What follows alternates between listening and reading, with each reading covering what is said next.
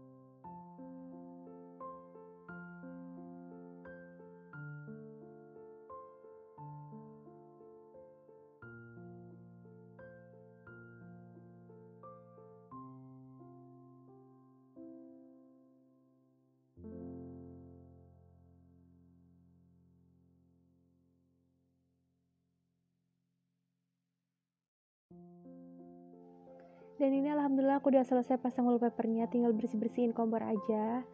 Aku pakai celing biar uh, bekas-bekas minyaknya itu terhempas.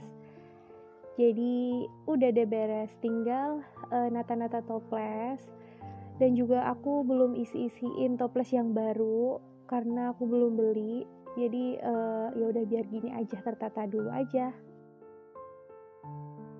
Dan lanjut wallpaper yang abu-abu itu aku akan pasang di pintunya. Karena pintu aku tuh jelek gitu loh bun. Kayak ada beluntong-beluntong putihnya. Jadi daripada dibuang aku akan manfaatkan. Aku potong-potong rapi dan juga aku tambal-tambal gitu. Biar sama kayak tembok sebelahnya.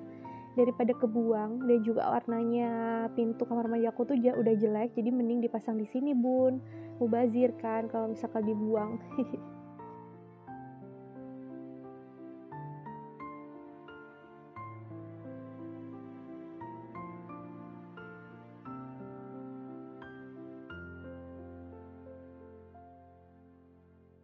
Oh iya yang tanya ini aku pakai lem apa? Ini aku pakai lem fog yang warna putih.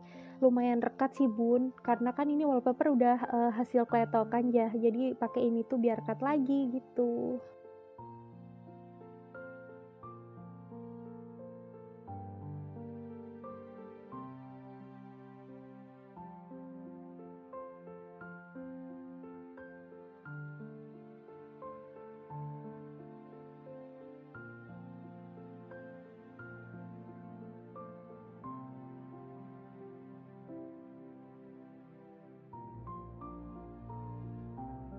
Dan ini alhamdulillah udah selesai dan udah jadi alhamdulillah tetap dapat wajah baru ya bun Terima kasih BTW yang udah nonton video aku, yang udah support selama ini. Pokoknya sampai jumpa di video aku selanjutnya. Semoga memberi manfaat. Assalamualaikum warahmatullahi wabarakatuh. Dadah.